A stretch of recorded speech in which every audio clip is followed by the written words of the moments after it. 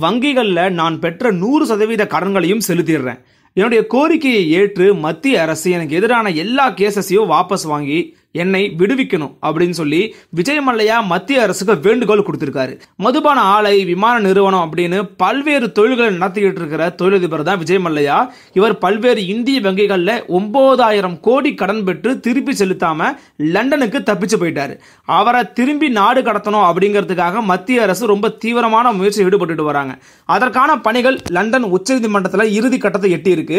இந்தியாவுக்கு விஜய் மல்லையாவை அழைத்து வரக்கூடிய தீவிர பணியில அமலாக்க பிரிவினர் சிபிஐ அதிகாரிகள் எல்லோரும் தீவிரமா ஈடுபட்டு இருக்காங்க.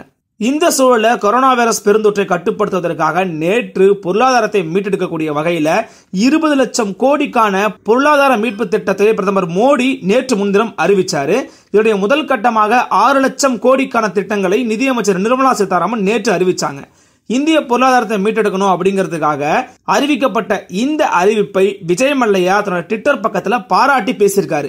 அதே போல அந்த சாக்கில் தன்னுடைய ஒரு கோரிக்கையும் மத்திய அரசு ஏத்துக்கணும் அப்படின்னு ஒரு வேண்டுகோளும் வச்சிருக்கிறாரு விஜய் மல்லையா ட்விட்டர்ல என்ன சொல்லியிருந்தார் அப்படின்னா கொரோனா வைரஸ்ல இருந்து பொருளாதாரத்தை மீட்க இந்தியா இருபது லட்சம் கோடிக்கான திட்டங்களை அறிவித்தமைக்கு நான் வாழ்த்துக்களை தெரிவித்துக் கொள்கிறேன்.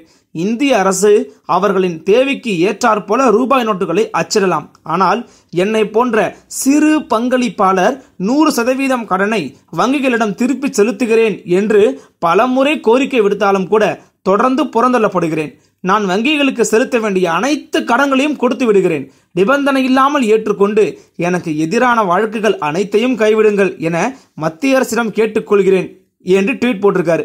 கடந்த சில மாதங்களுக்கு முன்னாடி இதே போல விஜய் மல்லையா ஒரு கோரிக்கை வச்சாரு. அதுல கிங்ஃபிஷர் விமான நிறுவனத்துக்காக வங்கிகள்கிட்ட பெற்ற கடனை நூறு சதவீதம் அடைக்க நான் விரும்புறேன் அப்படின்னு சொல்லியிருந்தார். ஆனா எந்த வங்கியும் என்னுடைய கோரிக்கையை ஏத்துக்கல. அமலாக்க பிரிவும் என்னுடைய சொத்துக்களை விடுவிக்க மறுத்துட்டாங்க அப்படின்னு கருத்து தெரிவிச்சிருந்தது குறிப்பிடத்தக்கது.